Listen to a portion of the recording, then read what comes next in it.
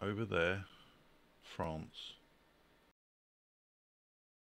Over here, what used to be Hoverspeed. It used to be the hovercraft service from Ramsgate to Calais.